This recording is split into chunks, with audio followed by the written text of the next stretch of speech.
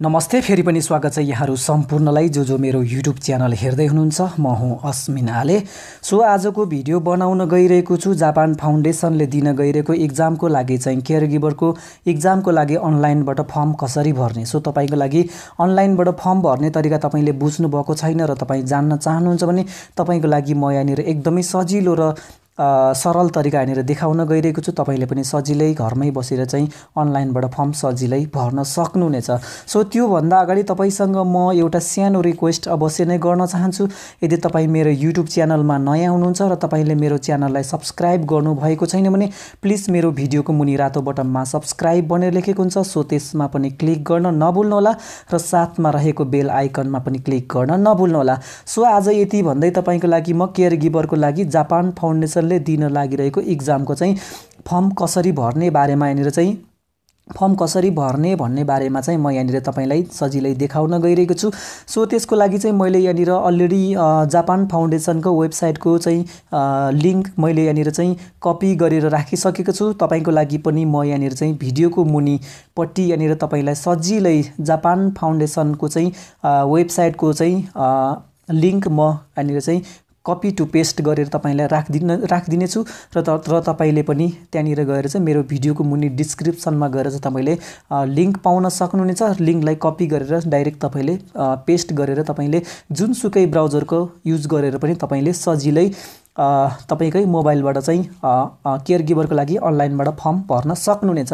So यहाँनिर चाहिँ मैले इन्टरनेट ब्राउजर युज गर्न गइरहेको छु। तपाईँले इन्टरनेट ब्राउजर अर्थात् तपाईँसँग क्रोम ब्राउजर अर्थात् अपेरा मिनी तपाईँसँग जुनसुकै ब्राउजर छ तपाईँले सजिलै ढुक्कसँग तपाईँले जुनसुकै ब्राउजर पनि युज गरेर तपाईँले अनलाइनबाट फर्म भर्न सक्नुहुनेछ। सो तपाईँको लागि यहाँनिर म इन्टरनेट ब्राउजरमा गएर यहाँनिर देखाउन चाहन्छु। सो म यहाँनिर इन्टरनेट ब्राउजरमा गइसकेको छु। यसलाई चाहिँ मैले अघि नै यहाँनिर जापान फाउन्डेसनको वेबसाइटलाई चाहिँ मैले कपी गरेर राखिसकेको छु। यहाँनिर चाहिँ म डाइरेक्ट पेस्ट गर्न चाहन्छु। तपाईँले पनि जसरी कपी टु पेस्ट गर्न सजिलै सक्नुहुनेछ यहाँनिर म पेस्ट गरेर देखाउन चाहन्छु।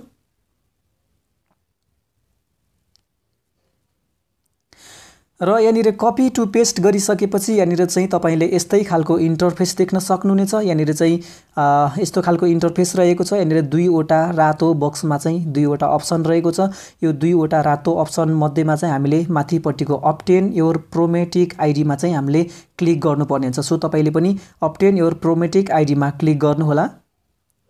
र यति गरिसकेपछि अब तपाईँले यहाँनिर यस्तो खालको इन्टरफेस देख्न सक्नुहुनेछ। तपाईँले माथिको कुरानिर जे जे लेखेको कुराहरू तपाईँले न पढ पढ्दा पनि हुन्छ र नपढिकन तपाईँले यहाँनिर सिधै तलपट्टि गएर नेक्स्टमा क्लिक गर्न पनि सक्नुहुनेछ। यहाँनिर तपाईँको लागि म नेक्स्ट अप्सनमा क्लिक गरेर देखाउन चाहन्छु। र यति गरिसकेपछि यहाँनिर चाहिँ यस्तो खालको इन्टरफेस आउँछ यहाँनिर तलपट्टि लेखिएको छ यहाँनिर चाहिँ दुईवटा अप्सन रहेको छ डिसएग्री र एग्री सो तपाईँले यहाँनिर चाहिँ सजिलै कन्फ्युज नभइकन यहाँनिर चाहिँ एग्री अप्सनमा क्लिक गर्नुहोला।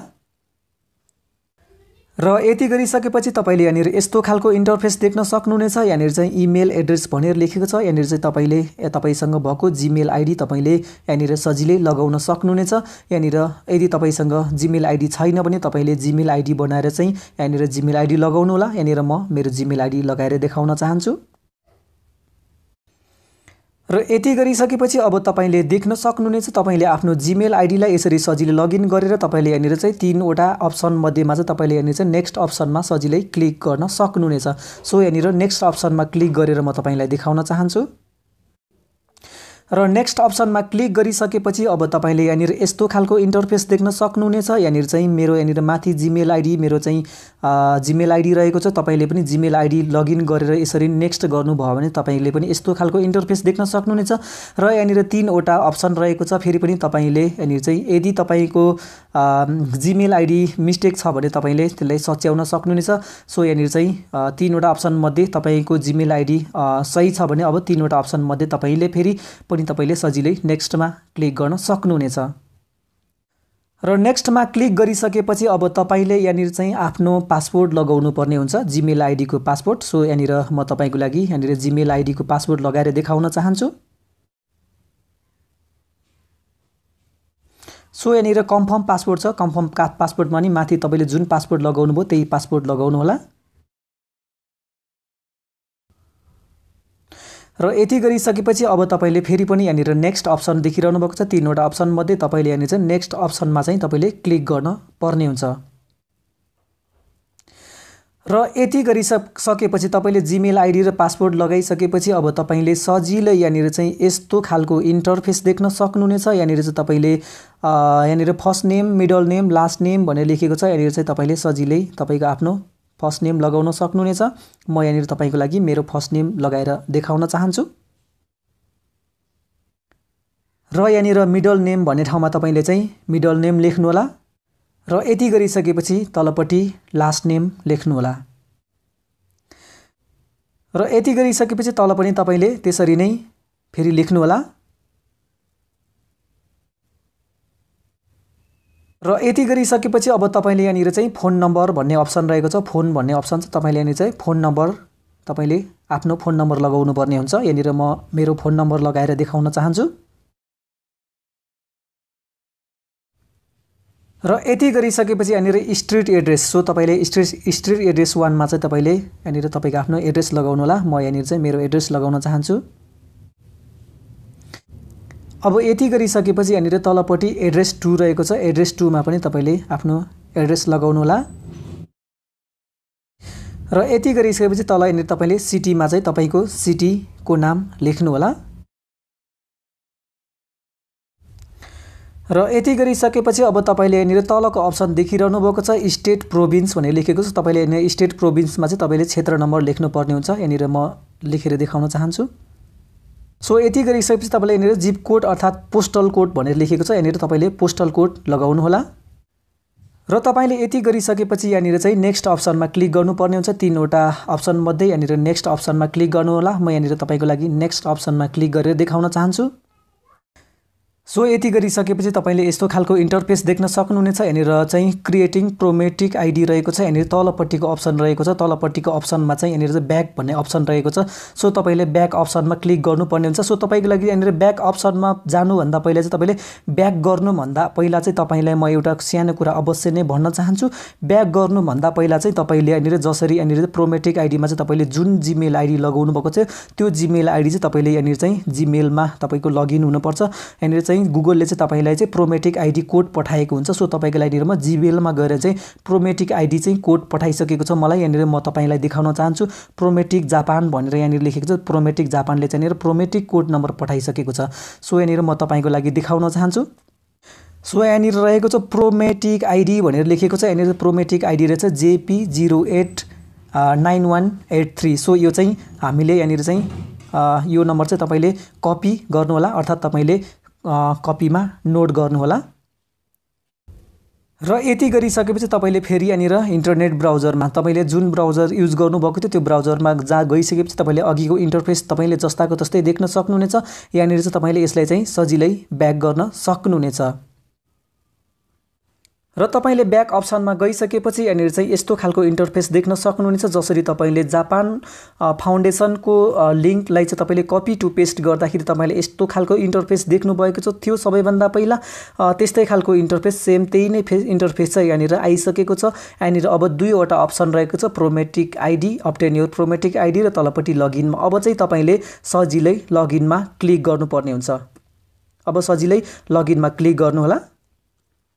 सो यति गरिसकेपछि तपाईँले यहाँनिर चाहिँ यस्तो खालको इन्टरफेस देख्न सक्नुहुनेछ। अब यहाँनिर चाहिँ तपाईँले यहाँनिर चाहिँ फर्स्ट नेम फर्स्ट नेममा चाहिँ तपाईँको नाम लगाउनु पर्ने हुन्छ। यहाँनिर मेरो नाम लगाउन चाहन्छु। यहाँनिर फ्यामिली नेम रहेको छ। फ्यामिली नेममा चाहिँ यहाँनिर तपाईँले पछाडि तपाईँको सरनेम लेख्नुहोला र यति गरिसकेपछि अब यहाँनिर चाहिँ प्रोमेटिक आइडी भनेको छ। यहाँनिर प्रोमेटिक आइडी भनेको अप्सनमा चाहिँ तपाईँले यतापट्टि तपाईँले अघि जसरी तपाईँलाई मैले देखाइसकेको छु जिमेलको माध्यमबाट चाहिँ गुगलले चाहिँ यहाँनिर मलाई प्रोमेटिक आइडी कोड पठाइसकेको छु। मैले यसलाई चाहिँ नोट गरेर राखेको छु। यहाँनिर चाहिँ म तपाईँको लागि प्रोमेटिक आइडी चाहिँ राखेर देखाउन चाहन्छु। त्यसरी नै तपाईँले पनि प्रोमेटिक आइडी लगाउनु होला र यहाँनिर प्रोमेटिक आइडी मैले लगाइसकेको छु त्यसरी नै तपाईँले पनि यहाँनिर प्रोमेटिक आइडीलाई चाहिँ तपाईँले यसरी कपी टु पेस्ट गर्नु भए पनि हुन्छ। यहाँनिर मैले चाहिँ नोट गरेर चाहिँ यहाँनिर डाइरेक्ट यहाँनिर चाहिँ टाइप गरेको छु। यहाँनिर यतापट्टि यहाँनिर अर्को अप्सन रहेको छ पासपोर्ट सो तपाईँले यहाँनिर पासपोर्टमा चाहिँ अघि तपाईँले जिमेल आइडी जुन लगाउनु भएको थियो त्यसै जिमेल आइडीको पासपोर्ट चाहिँ तपाईँले यहाँनिर लगाउनु पर्ने हुन्छ। सो तपाईँको लागि यहाँनिर म पासपोर्ट लगाएर देखाउन चाहन्छु। र यति गरिसकेपछि अब तपाईँले लास्टमा चाहिँ यहाँनिर चाहिँ लगइन गर्नुपर्ने हुन्छ। सो तपाईँको लागि यहाँनिर म लगइन गरेर देखाउन चाहन्छु।